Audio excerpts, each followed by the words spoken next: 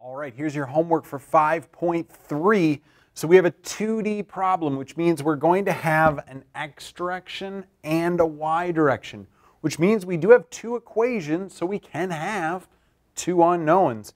And so our job here is to resolve any vectors that aren't purely in the x or purely in the y, which would be our VA prime and our VB prime, into components VAX, prime and VAY prime. Same thing with the B direction. Remember to put a negative sign on this velocity down here because it's pointing down. Now we can put those into our equation here.